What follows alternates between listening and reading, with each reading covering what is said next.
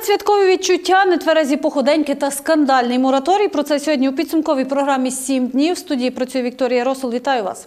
Сьогодні журналісти М студіо про те, чим запам'ятався цей тиждень, що минає з. Тож далі дивіться про таке. Збитки для бюджету та як вижити? Акцизне питання. За мораторій не стати сировинним придатком. Депутатські засідання, що вирішували народні обранці. Відстояти права судяться за пільги. Наші в Будапешті, угорці на Закарпатті, художні виставки. Головна героїня Зелена красуня Закарпаття. Також про те, як вирішують питання призупинення дії безвізу, яке стане кроком до безвізового режиму, про нетверезі походеньки закарпатських чиновників та посадовців ще задовго до свят, про те, чим переймаються освітяни в Хуському районі та з чим звертаються горяни. Ну а на цьому тижні тема безвізового режиму отримала свої розв'язки. Країни Євросоюзу офіційно схвалили механізм, через який Україна досі не отримала безвіз. Комітет постійних представників країн ЄС від імені Ради ЄС затвердив компромісний текст механізму призупинення безвізового режиму. Про це йдеться у повідомленні представництва ЄС в Україні. Цитую, той факт, що ми досягли угоди, має відкрити двері для подальшого прогресу лібералізації візового режиму, сказав міністр внутрішніх справ Словаччини, яка головує в Раді ЄС. Постанова надалі буде направлена до Європейського парламенту на голосування у першому читанні і для ухвалення Радою ЄС. Нагадаю, одна з причин, чому Україна досі не отримала безвізовий режим, це відсутність механізму призупинення цього самого безвізового режиму. На цьому тижні в українському парламенті підтримали підвищення мінімальної заробітної плати до 3200. За таке рішення на сесії Верховної Ради проголосували 227 депутатів. Саме цей законопроект створює умови для підвищення з 1 січня 2017 року розміру мінімальної заробітної плати вдвічі. У пояснювальній записці до законопроекту йдеться, що в бюджетній сфері мінімальна тарифна ставка посадовий оклад визначатиметься урядом. За словами урядовців, окрім зарплати, з нового року підвищаться і пенсії спочатку на 10%, однак у майбутньому майбутньому, коли пенсійний фонд буде збалансованіший, пенсії зростатимуть більше, обіцяє прем'єр-міністр України. Ну і про те, що місцеві бюджети виросли на 44 мільярди у порівнянні з минулорічними показниками на загальних зборах Асоціації міст України повідомив Володимир Гройсман. Прем'єр додав, наступного року прогнозоване зростання місцевих бюджетів на рівні 25%. З початку 2016 року податки від реалізації нафтопродуктів на АЗС почали надходити до місцевих бюджетів, правда, лише до тих населених пунктів, де автозаправки і знаходяться. Тож ці населені пункти отримали справжній шанс на розвиток. Тим часом інші ледь зводять кінці з кінцями. Ну інше питання, щоб почали масово з'являтися нелегальні АЗС, власники яких просто уникають сплати акцизу. Ну і відповідно бюджетам від цього завдано збитків щонайменше на 2 мільярди гривень. Левова частка надходжень до місцевого бюджету Тячівського села Бедевля це акцизний податок. На території населеного пункту є дві автозаправні станції. Завдяки цьому в селі відремонтували дороги, зробили вуличне освітлення, побудували дитячий майданчик. Зараз велика дохідна частина в зв'язку з новими законами. Це е, йде в нас акциз. На рік е, виконує бюджет, має бюджет зараз 2 мільйони з половиною, 2,5 мільйона. Рік кончається, у нас зараз на рахунку 800 тисяч. Ми плануємо на нового року зробити собі або дороги, або щось складати. На сьогодні склалася ситуація, коли в деяких населених пунктах зареєстровано декілька АЗС, і відповідно за надходження від їх реалізації там ремонтують дороги, садки, школи та інші адмінбудівлі. На кінець року у їхньому бюджеті сотні тисяч гривень. Як до прикладу, Івановецька сільрада Мукачівського району. Інші ж без жодної автозаправної станції та підприємств часто залишені сам на сам зі своїми проблемами. Матієво один з багатьох населених пунктів на Закарпатті на території якого немає ні автозаправних станцій, ні підприємств. З яких надходжень виживає село? Ми вирішили запитати у сільського голови. За словами сільського голови, село забезпечує себе на 50%. Інші 50% додає районний бюджет. На жаль, ми не маємо ні заправок, ні, ні інших таких підприємств. Нічого не маємо на нашій території. Хіба що є наші підприємці, ну, які сплачують податки дійсно добросовісно самовільно, все так, як є. Найбільше надходжень у сільський бюджет поступає з земельних податків. З нового року, за словами пані Еріки, їх розмір збільшать десь на 100%. Відповідно, ситуація трохи покращиться. Однак це можливо вирішить проблему з покриттям видатків на заробітну плату працівникам сільради. Але за місцеві кошти ремонтувати дороги чи побудувати, наприклад, школу, яка дуже необхідна для села, не вдасться. Вихід нам, наш вихід, Боже мій небесний. Добре би це знати нам. Ми би хотіли залучити ін- ін- інвестора в наше село, щоб допомогли нам. В селищі Кольчино, що на Мукачівщині, ситуація трохи краща. Тут нема АЗС, але є багато підприємців. Ми на сьогоднішній день маємо вже 2 мільйони 600 єдиного податку. 2,5 мільйона будемо мати плату за землю, бо земля в основному в оренді, е, маса підприємців, підприємців. З цього ми, в принципі, живемо. Нещодавно в Кольчині відкрили районний центр з виготовлення паспортів. Наступного року, за словами селищного голови, адмінзбір має принести у бюджет Кольчина від 1,5 до 2 мільйонів гривень. Але автозаправна станція в селі не завадила б. Моя позиція на цю тему десь би мали акциз збиратися чи в районі, чи в області, а потім чи по кількості машин, чи по кількості населення його ділити на кожну сільську раду.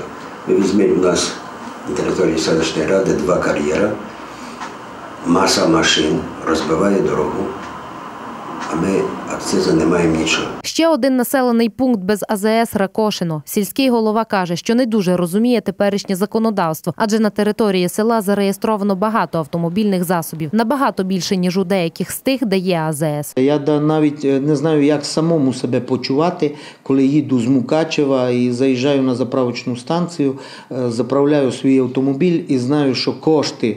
Мої кошти, як мешканця Ракошино, йдуть в бюджет іншої сільської ради на утримання її доріг, її благоустрою і тому подібне. Чесно, ні. Справедливо ні. Логічно ні. Я не знаю відповіді на це питання. Цілий ряд населених пунктів, в тому числі і на Закарпатті, не мають коштів навіть на першочергові видатки. Тим часом окремі ділки, які працюють на ринку пально-мастильних матеріалів, намагаються обійти закон та уникнути сплати акцизу. Закуповують нафтопродукти гуртом та відкривають нелегальні заправні станції. Пальне, яке вони реалізовують, не йде через офіційну мережу АЗС та не оподатковується. На цьому питанні акцентував увагу і прем'єр-міністр Володимир Гройсман під час виступу у Верховній Раді України 6 грудня. Що коли ми ввели акциз, який зараховується в бюджети місцеві, заправки на місцях почали відрізати пістолети, як заправочні, і почали менше платити в бюджет місцевих громад. А далі на, на рахунок цього почали з'являтися нелегальні заправки в країні, в яких бензин коштує і паливо дешевше, тому що вони уникають від сплати відповідного акцизу. Через появу нелегальних АЗС почали суттєво зменшуватися надходження до місцевих бюджетів. Прем'єр-міністр запропонував, що 5% акцизного збору на пальне сплачували і виробники, й імпортери, які завозять нафтопродукти з-за кордону. Ми пропонуємо, щоб 5% сплачували всі. І хто виробляє 100%, і хто імпортує 100%. Далі ми це акумулюємо в центральному бюджеті і автоматично підкреслюю. Запишіть цю формулу самі, я її погоджуюсь з нею. Автоматично розміщуємо в кожен бюджет міста, села, селища, об'єднаної громади На тому, що система надходжень до місцевих бюджетів за рахунок акцизу на пальне має бути змінена, наголосив і народний депутат України Василь Петьовка. Адже розподіл акцизних надходжень мав би відбуватися пропорційно до кількості населення, яке проживає в тому чи іншому населеному пункті. Ні в якому разі не можна дозволяти, щоб розвивались лише ті міста чи села, які мають на своїй території АЗС, і які за рахунок сплати акцизного збору за нафтопродукти отримують великі надходження до бюджетів. В той же час переважна частина інших населених пунктів ледь зводять кінці з кінцями, не маючи коштів навіть на найнеобхідніші потреби. До слова, цього року від нелегального продажу пально-мастильних матеріалів бюджети населених пунктів вже втратили щонайменше 2 мільярди додаткових надходжень. Якщо ж цю схему вдасться зламати, то ці кошти розподілять до скарбниць міст, сіл, об'єднаних громад. Додаткові надходження до місцевих бюджетів, збільшення робочих місць для жителів гірських сіл. Такі позитивні зміни почали відбуватись із введенням заборони на вивіз за кордон лісу кругляку. Про це в один голос заявляють закарпатські деревообробники. Підприємці кажуть, розвивати цю галузь просто необхідно, адже ліс чи не головний ресурс області.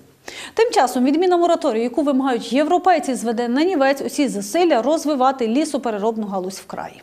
Підприємство пана Євгена, хоч і невелике, всього 22 працівники, та прибуток приносить. Уже не перший рік чоловік займається виготовленням меблів, столів та стільців. Розповідає, деревину закупляє у лісгоспах. Переконаний, деревообробна галузь у краї має великі перспективи. Головне, аби було з чим працювати. кругляк, розпіловка, сушка і готова продукція. Будемо старатися розвивати виробництво і таке інше.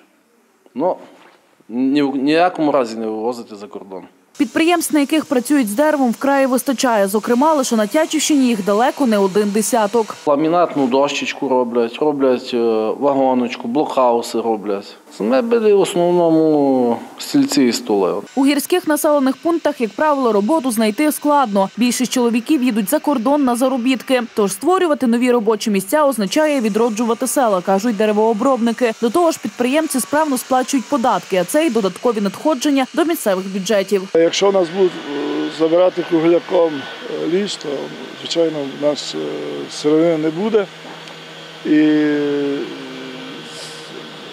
це не по-хазяйськи, і це не, потрібно нікому, я думаю, тому що ліс це основне зараз багатство в Закарпатті, у гірських районах, де люди мають роботу, мають доход і бюджет трошки поповнюється. І в державу приходить валюта. Підприємці кажуть, розвивати деревообробну галузь у краї просто необхідно, адже ліс чи не головний ресурс області.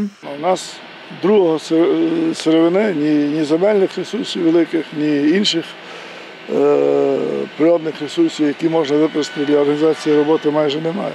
Ліс це єдиний е, ресурс, який використовується в роботі, який дає тут доходи місцевому бюджету і людям.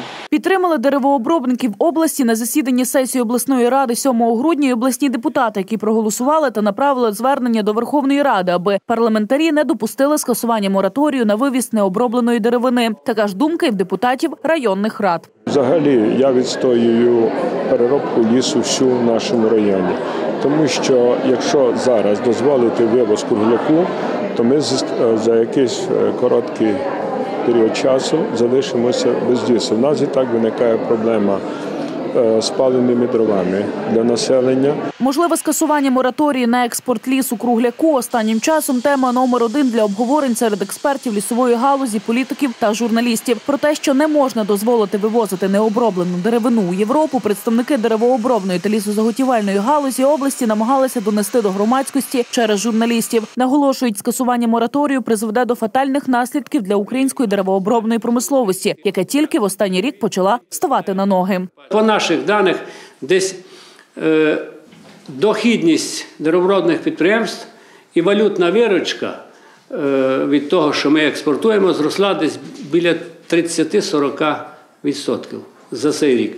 Намітилася тенденція в Закарпатті і загалом по Україні до інвестицій в деревообробну галузь. Прихід інвестицій та збільшення доходу деревообробних підприємств відбулись насамперед через заборону на вивіз лісу кругляку, кажуть деревообробники. Адже європейські підприємства мають два варіанти: або ж прийти в Україну, тим самим створити нові робочі місця, або ж відмовитись від українського лісу, що не є прибутковим. Зрештою, ніхто не звертає увагу на факт самої переробки деревини, залишки якої у світлі програми енергозбереження є паливним продуктом. При переробці такої кількості кругляка утворюються, як звичайно, пиловідходи тирса.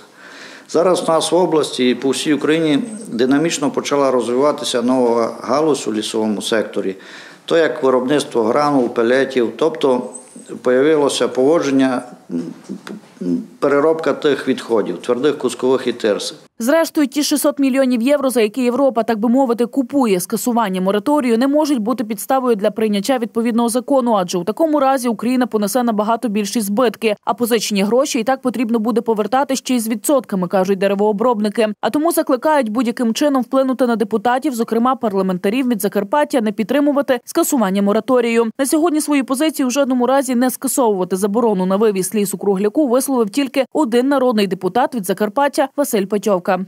Решту поки що мовчать, хоча всі все знають.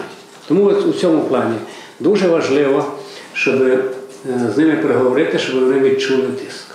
Представники вітчизняної лісозаготівельної та деревообробної промисловості кажуть, не можна допустити перетворення України в країну експортера сировини, а треба відроджувати цю галузь, а водночас і українську економіку. За жодних умов не підтримуватиме зняття мораторію на експорт лісу кругляку і депутатська група Воля народу. Про це з трибуни Верховної Ради заявив її лідер Ярослав Москаленко. Шановні колеги, наші міжнародні партнери знову шантажують нас, що мов зніміть мораторій на кругляк, і ми проголосуємо за безвіз. Я вам хочу сказати, ті, хто нас закликає зняти мораторій на вивезення лісу з України, в своїх країнах не то, що забороняють експорт, забороняють вирубку. Італія 15 євро дотує на кожен куб імпортованого лісу. Туреччина 10 євро дотує. Австрія, Румунія забороняють вирубку лісів, а нам рекомендують відкрити експорт. Я їм хочу сказати, хай будують фабрики в нас на території, платять податки, створюють робочі місця. Після цього експортують готову продукцію скільки завгодно, і це стосується не тільки деревини, а всієї сировинної бази України. Така позиція депутатської групи Воля народу. Ми знаємо, що в цьому залі збирають голоси на зняття мораторію. Ми не при жодних умовах голосувати за це не будемо. Нагадаємо, одна із вимог Євросоюзу для надання чергового траншу макрофінансової допомоги для України у розмірі 600 мільйонів євро це скасування мораторію на експорт лісу кругляка з України. Наразі в Україні діє заборона на вивезення лісу кругляка терміном на 10 років. Для усіх порід дерев, окрім сосни, мораторій запроваджений з 1 листопада 2015 року. Для деревини породи сосна із 1 січня 2017-го. Питання скасування мораторію на вивіз необробленої деревини залишається головним чи не на всіх депутатських засіданнях у Закарпатті. Що вирішували обласні депутати? Над чим працювали обранці в районах та містах? Дивіться у короткому огляді. Друге пленарне засідання п'ятої сесії Закарпатської обласної ради розпочалось із звіту очільника обласної ради. Можу з чистою совістю сказати, що об'єднання навколо не голови ради, а навколо суспільних питань е, відбулося, тому що майже 90 питань, які виносилися у сесійний зал, підтримувалися усіма фракціями і е, більшістю голосів. Обласні обранці внесли зміни та доповнення до програми Турбота, покликаної фінансово допомогти важкохворим закарпатцям. На кінець року на програму ще залишається 2,5 мільйони гривень. Тож депутати вирішили спростити процедуру надання допомоги. Зокрема, із переліку обов'язків вилучили звіт про використання наданих хворому коштів. На сьогодні пишеться заява на ім'я депутата Закарпатської обласної ради. Після цього депутат е, до цієї е, заяви додається ксерокопія паспорта, ідентифікаційного коду і е, виписка із е, банку про рахунок. Можна до цього долучити якусь медичну довідку або виписку з історії хвороби.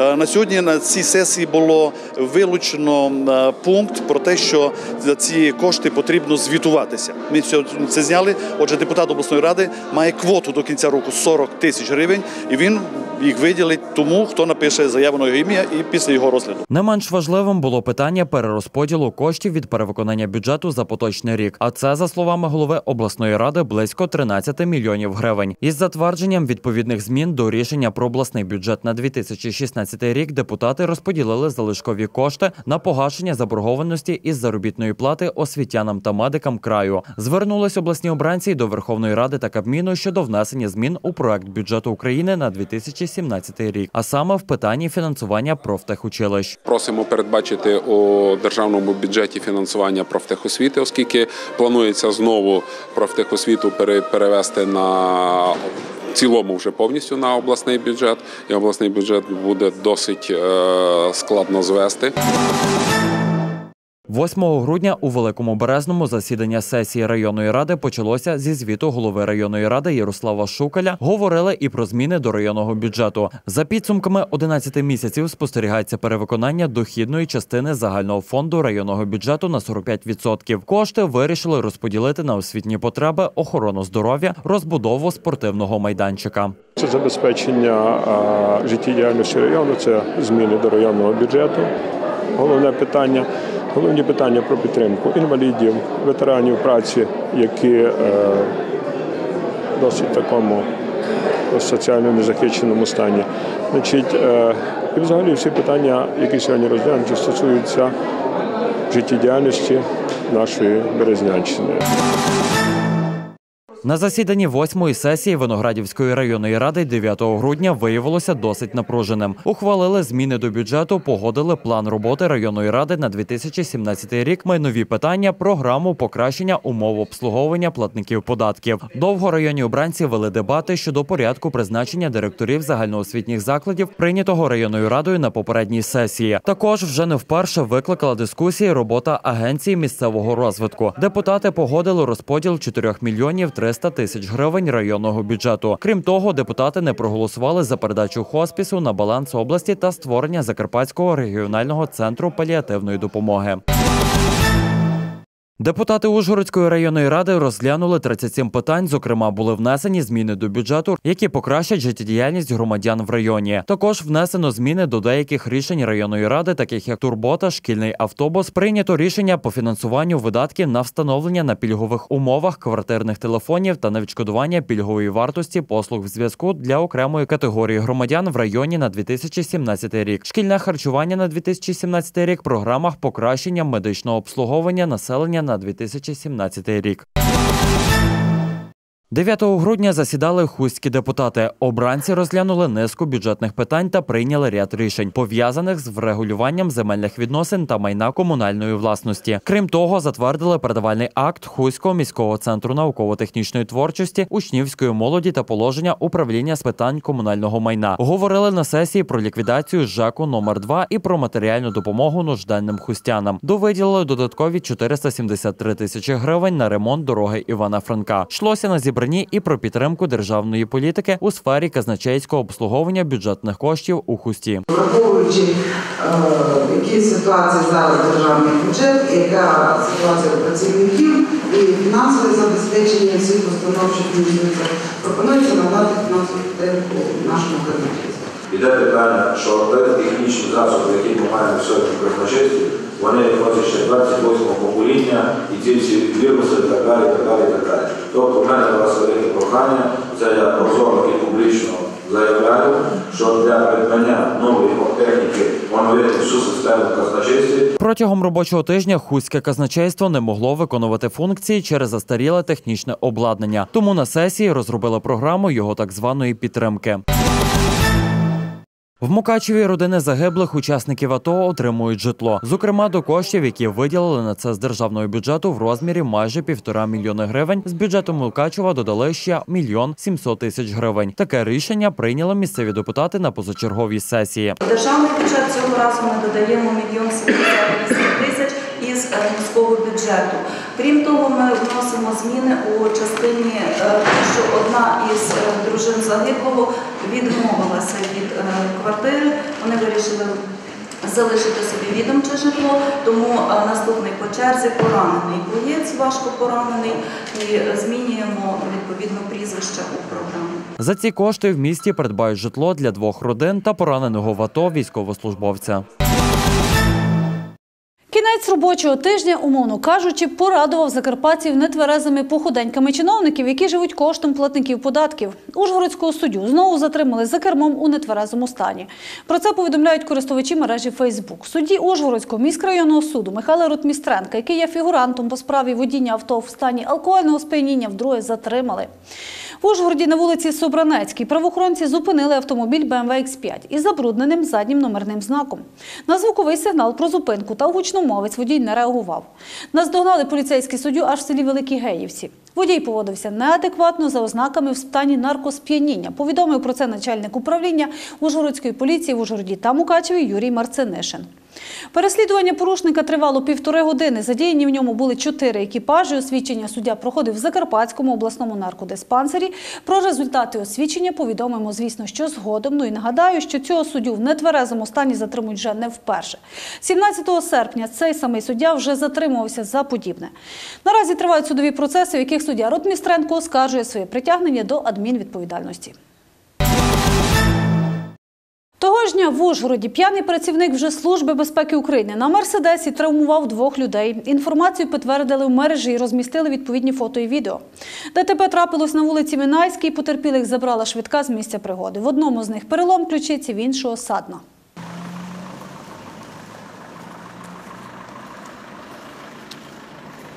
Управлінні Служби безпеки України натомість призначили службове розстеження за фактом ДТП. На цей час працівник відсторонений від виконання службових обов'язків, повідомила прес-служба СБУ в Закарпатті. І в продовження теми похуденьок посадовців у нетверезому стані. Наприкінці жовтня в ЗМІ Закарпаття була опублікована інформація про те, що в листопаді прокурори області зафільмували за так званими тісними стосунками з молодою особою в розважальному закладі Ужгорода. В статті йдеться про нібито цитую нестатутні стосунки літнього прокурора Закарпатської області Володимира Гаврилюка з молодою дівчиною, судячи з усього легкої поведінки, що зафіксували на відео відвідувачі розважального центру в Ужгороді. Цікаво, чи відреагували на поведінку посадовця такого рангу в генпрокуратурі та чи відповідає така поведінка високопосадовців обіцянкам жити по-новому. Екс-дипломатка, колишній перший секретар посольства України в Словаччині Оксана Ліщишин, котра засвітилась в контрабандних схемах на Закарпатті, оскаржує звільнення з МЗС. Тим часом справу її чоловіка, котрого і зловили на перевезенні цигарок під виглядом так званого дипломатичного вантажу, переглянули. Ліщишин вимагає поновити її на роботі у посольстві, також компенсувати матеріальні збитки. Відповідна інформація вже є у відкритих судових реєстрах. Нещодавно послом України в Словаччині призначили Юрія Мушку, оскільки в його попередника Олега Гаваші закінчився термін дії контракту, який він не став продовжувати. Далі про справу, яка може стати прецедентом на державному рівні. До редакції М-студіо вже втретє звернувся інвалід другої групи Василь Шателя зі Сваляви. Чоловік з березня відстоює свої права. Мова йде про те, що йому не продали квиток за пільговою ціною на основі пред'явленого посвідчення у касі автовокзалу СМТ Воловець. Мотивують, мовляв, відсутністю компенсації за пільгові перевезення пасажирів, яка не передбачена на 2016 рік у державному бюджеті. Детальніше про судову тяганину справи, яка може стати справжнім прецедентом, Ірина Ковальчук. Розгляд справи Шителі Василя Юрійовича наразі перенесено на невизначений термін, оскільки суддя не вийшла з нарадчої кімнати. Василь Шителя, інвалід другої групи, якому не так просто було дістатися до Ужгородського міськрайонного суду із Сваляви, обурений. Секретар пояснює, за процесуальним законодавством на час знаходження судді в нарадчій кімнаті розгляд призначених справ відкладається. Про дату та час наступного судового засідання буде повідомлення. Нагадаємо, судова тяганина триває вже з березня цього року. Пан Василь подав позов на Закарпат Автотранс після того, як на пред'явлене посвідчення у касі Воловецького автовокзалу чоловіку продали білет за повною вартістю, а не за пільговою ціною. Я подав до суду е, е, нанесення моральної і матеріальної шкоди. Так як 18.03.2015 року я перебував в Олівці і підійшов до каси номер 2 щоб мені е, придбали ну, продали квиток. Мені відмовили в зв'язку з тим, що асоціація, громадська організація Асоціація перевізників Закарпатської області відмінила пільги, не дивлячись на те, що вони не мали права, бо є закони про транспорт і основи захищеності. Підтримати борця за права інвалідів прийшли юристи та активісти. Пан Шателя, на мою думку, повністю правий, так як є в нас закони, нормативно-правові акти, які мають виконуватися в першу чергу. На даний момент цей закон порушується і відповідно порушуються права людини з інвалідністю. Практика Верховного суду, яка засвідчує, нас є підстави вважати, що автостанція зобов'язана продавати квітки для пільговиків. І відповідно вони це не зробили, чим порушили законодавство. Судова тяганина триває вже з березня цього року. То вже судді мінялися, то спочатку мені е, відмовили, тому що чому саме я Закарпат Автотранспорт е, подав до суду. Тим більше, що я показав на квитку, що Закарпат Автотранспорт е, реалізує квитки. Після того мені повернули, що я запізнився, строки пропустив, хоча строки не пропустив. Я подав апеляційний, суд апеляційний виграв, знову відправили тому судді Фаза Кошу, який це він порушив ту процедуру. Мені написали заяву відвід. відвід. Після того знову мені назначили суддю, доходила до завершення. Ну він, як стало відомо, що він написав заяву на звільнення.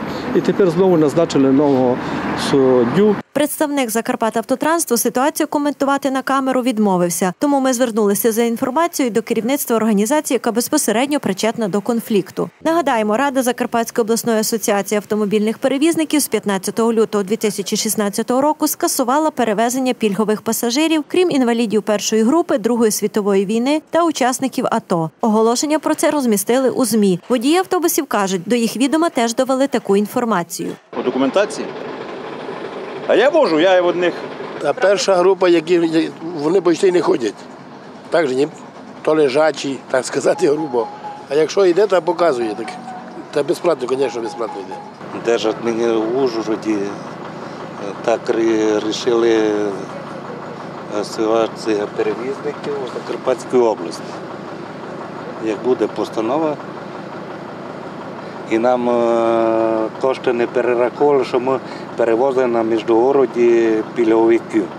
І з 2000 року не дотації ніякої не було, хоч ми перевозимо постійно їх. І це питання треба вирішити, чому на міжгороді не за пільгові перевезення не надаються кошти. Виходить, кажуть представники інвалідів, Закарпатавтотранс та громадська організація скасували ряд статей законів України.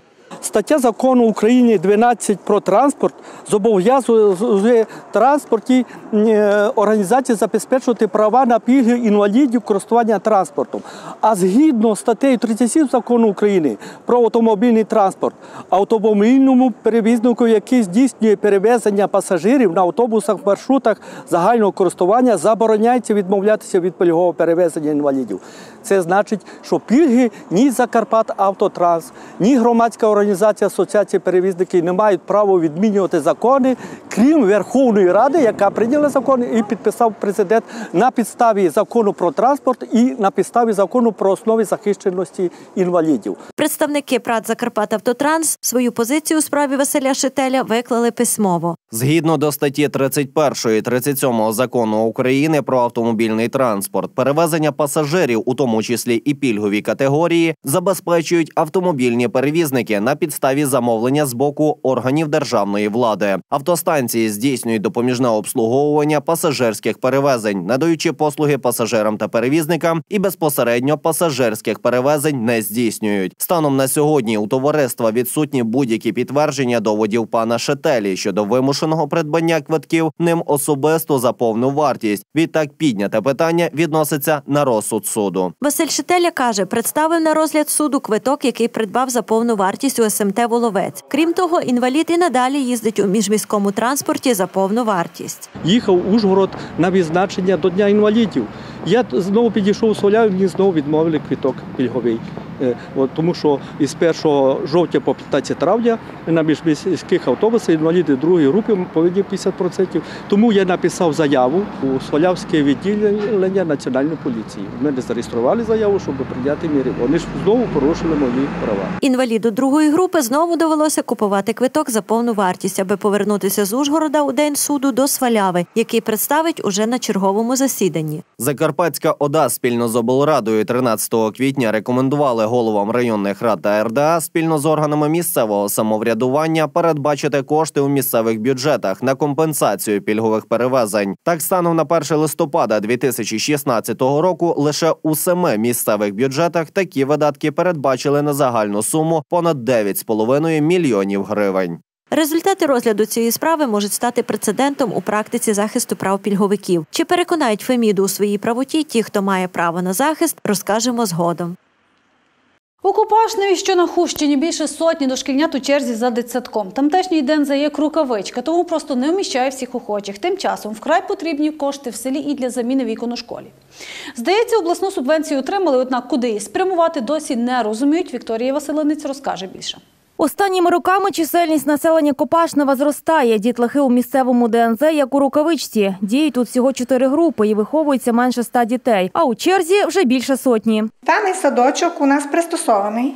Більш-менш вже є умови. Вихід ситуації, що склалася, начебто знайшли. На території села пустує приміщення, яке цілком можна пристосувати під ДНЗ. Колись тут знаходився шкільний гуртожиток. Наразі він на замку, та й час взяв своє. Однак реконструкція врятує будівлю і, що головне, дасть змогу селянам охопити дошкільною освітою їх дітей. Цю проблему знають в районі, знають у відділі освіти. Е, В 2012 році було виготовлено проєктно-кошторисну документацію. У нас є шкільний гуртожиток, який можна реконструювати е, під дошкільний навчальний заклад. Е, Гроші були профінансовані з районного бюджету 96 тисяч на виготовлення проєктно-кошторисної. Зроблений експертний звіт, але е, в зв'язку з браком коштів е, це е, будівництво і реконструкція не розглядалися. У районному бюджеті постійно бракувало коштів, тому зрушити питання не вдавалося. Так ішли роки. Минулого року здійснили коригування проектно-кошторисної документації. Загальна вартість наразі складає 6,5 мільйонів гривень. До слова, з них 6 мільйонів 307 тисяч коштують будівельно-монтажні роботи. Даний проект було е, вкладено в програму розвитку району на 2016-2020 роки. З обласного бюджету цього року в квітню у нас була виділена субвенція в сумі 250 тисяч. Врешті-решт з'явилося світло в кінці тунелю лише у році поточному, коли надійшла у село субвенція з обласного бюджету. Проте тендерні процедури, а перед ними і створення тендерного комітету, крали дорогоцінний час. Тож освоїти виділені кошти так і не вдалося. Був створений е, сесію сільської ради тендерний комітет в складі п'яти чоловік.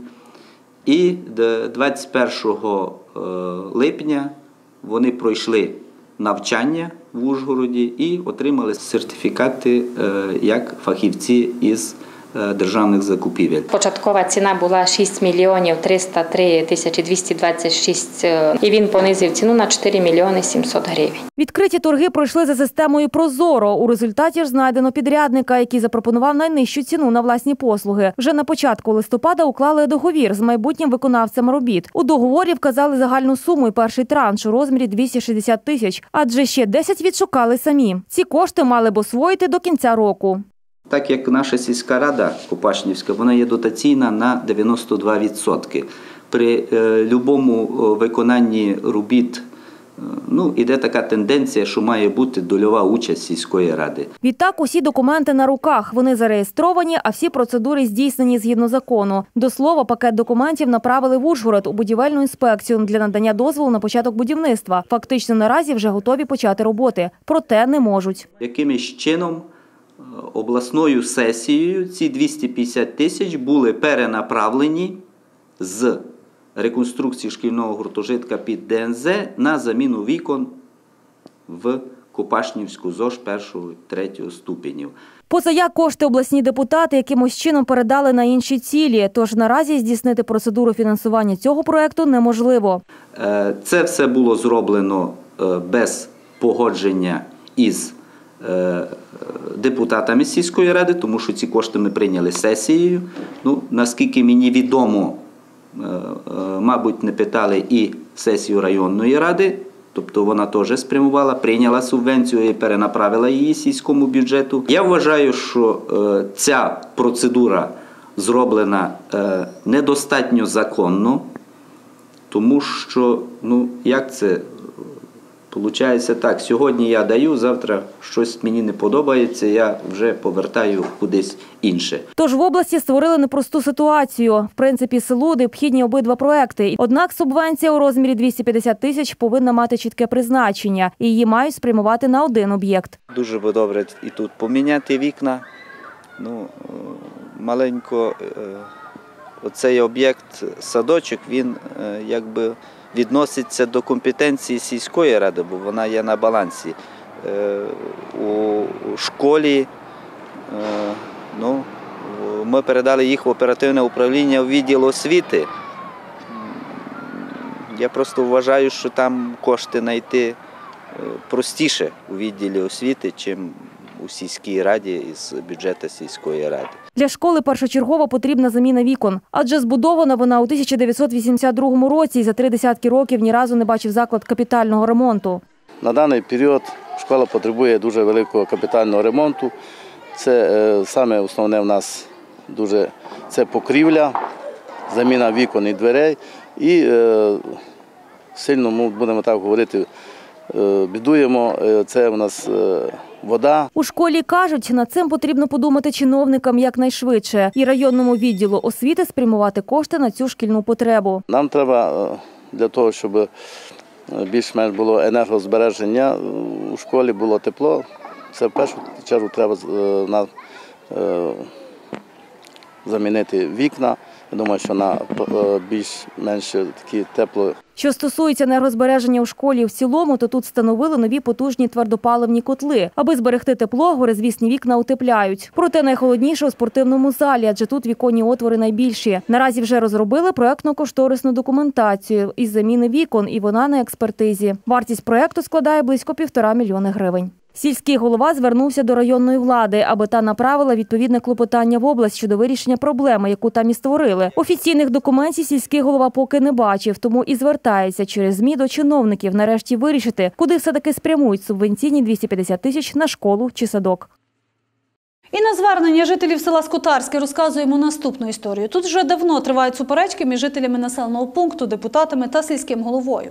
Депутати кажуть, голова села про зроблену роботу не звітує, на проблеми не реагує, мовляв, не зважає. Почалося все з того, що він не з'явився навіть на загальні сільські збори, коли громада перекрила дорогу і скаржилась на жахливу ситуацію з вирубками лісів керівництво району. Після сільський голова з'ясовував стосунки з місцевими депутатами і в суді невдовзі вони висловили йому недовіру. Чи не вперше історії Закарпаття, але Легеза спілкувалася з місцевими. У вересні наш канал розповідав про те, як жителям Скотарського увірвався терпець. Місцеві жителі вирішили перекрити дорогу і дати розголосу проблемам в селі, адже мовчати і бездіяти кажуть, більше не було сил. Чимало людей тоді зібралося під стінами сільської ради, аби почути відповіді на наболілі питання. Насамперед їх цікавило, коли ж відремонтують центральну дорогу та коли в селі припинять масову рубку лісу. Сюди приїхали голова РДА та представники лісгоспу. А от сільський голова терміново був змушений піти у відпустку. Лікар пішов у відпустку, що він ще знаходить, вам не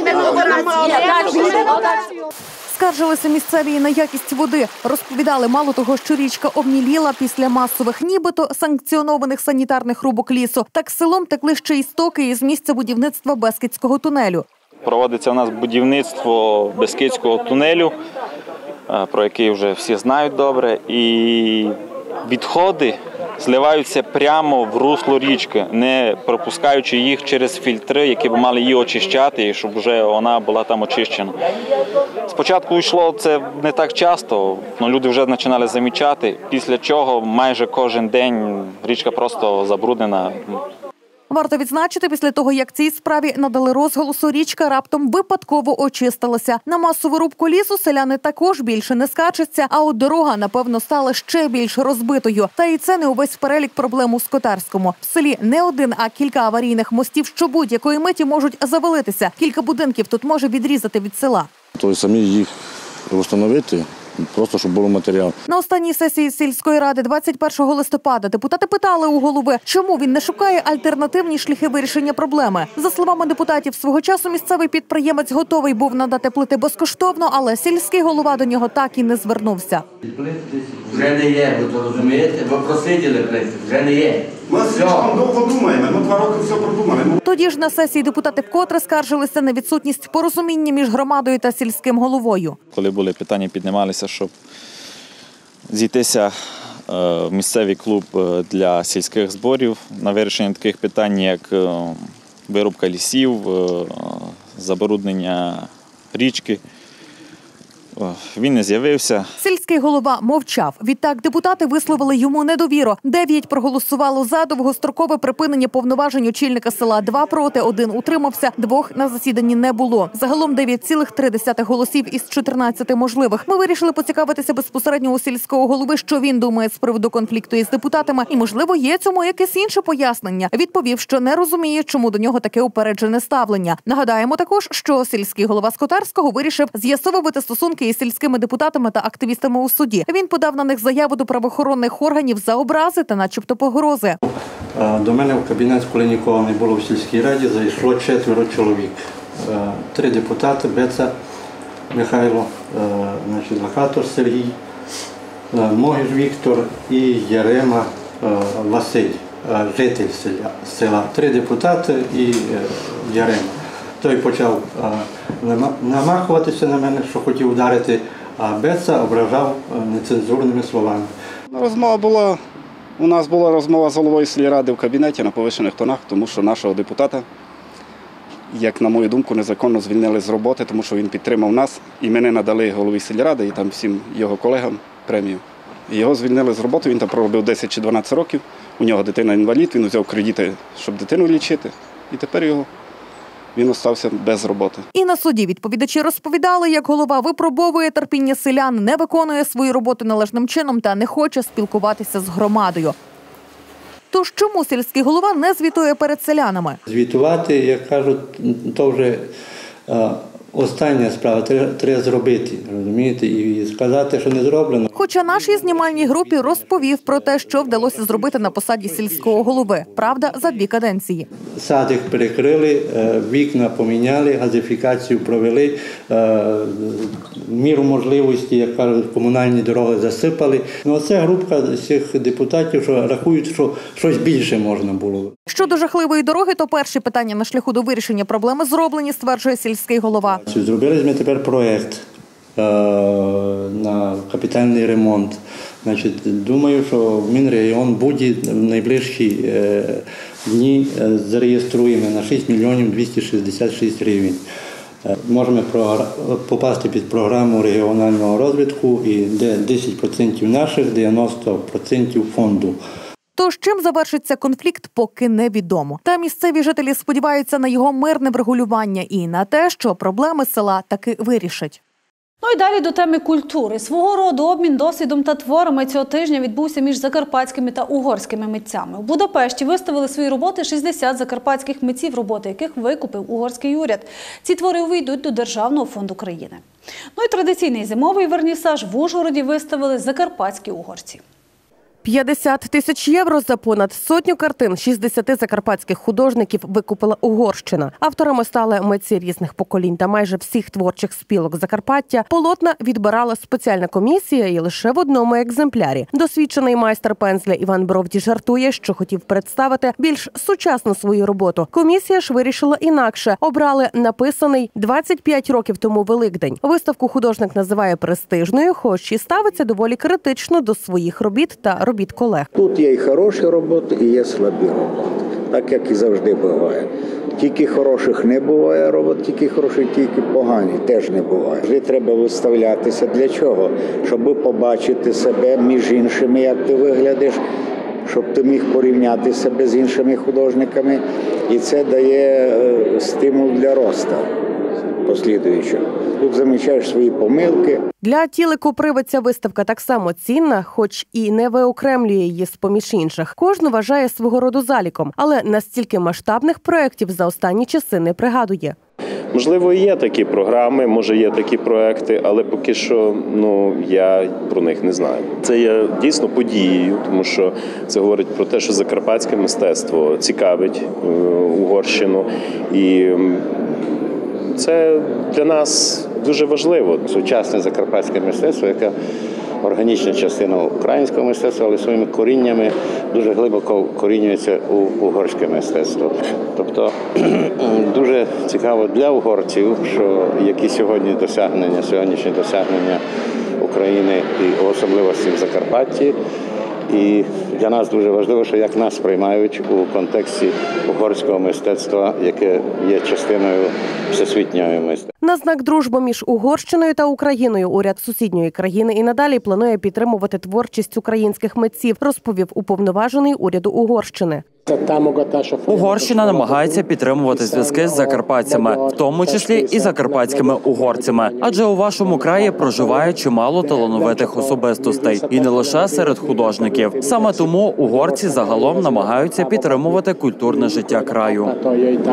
Виставка триватиме до січня 2017-го. Далі твори закарпатських художників передадуть у власність державних закладів Угорщини до шкіл та музеїв. Поки закарпатські митці виставляли власні твори у Будапешті, в Ужгороді презентували свою творчість угорські митці. Зимовий вернісаж проводять ось вже 26 років. На цей раз ще і в пам'ять митця Ласло Мадяра, який трагічно помер влітку цього року. Тому із понад 50 картин переважна більшість саме його авторства. Решта інших 25 художників. Всі роботи членів товариства угорських митців Закарпаття імені Ревеса. Можна показувати е, побачити такі е, картини і такі художні е, скульптури, які протягом року року зробили наші художники. І ще оце вже другий рік буде, що будемо е, здати премію Імре Рєвеса, де е, хочемо подякувати цим людям, які допомагали нам як в товаристві художникам. Ця премія започаткована трьома організаціями. Надається тим, хто сприяє розвитку угорського мистецтва на Закарпатті та угорської меншини загалом. Це і грошова премія, і визнання того, що яка людина або яка особистість що зробила для не тільки для товариства, а взагалі для тої меншини, яка є ну, тої меншини угорців, яка е, присутня у Закарпатті. Цього року відзнаку отримують у трьох номінаціях. Двоє з них це члени товариства, художники-живописці. Ще одна для того, хто сприяє розвитку і товариства, і нацменшин угорців в Закарпатті. Ну а закарпатські міста почали прикрашати ялинками. Мукачеві вже встановили головну ялинку міста. Основний атрибут новорічних свят завишки в 15 метрів. Щоправда, цього разу ялинка штучна. Платникам податків міста обійдеться вона в 310 тисяч гривень. Дерево 15 метрів завишки розмістили на традиційному місці центральній площі Виноградова. Устанавлюємо і робимо розтяжки, щоб не поламалося і тому подобне. Цьогорічну ялинку виноградівчани отримали в подарунок, тобто кошти на її придбання з місцевого бюджету, за словами пана Степана, не виділяли. Наступного тижня ялинку прикрасять іграшками, урочисте відкриття та запалення гірлянд відбудеться вже тижня наступного, 17 числа, принаймні так обіцяють. На оберегові новорічна ялинка вже засяяла. Цьогорічна зелена красуня заввишки 13 метрів. Запалення головної новорічної красуні міста Берегово відбулось за участі зразкових колективів міста. На берегівчан та гостей чекала святкова програма. Зустріч з Дідом Морозом, Снігуренькою та Мікулашем, а також новорічні музичні привітання.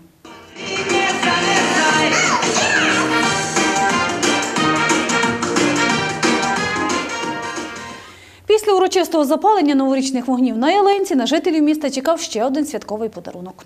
Родзинкою новорічних свят в берегові є льодовий каток. Він розміщений в центрі міста, буквально за кілька метрів від новорічної ялинки. Льодову ковзанку встановлюють вже другий рік поспіль. Цього року всі школярі міста зможуть безкоштовно кататись на ковзанах.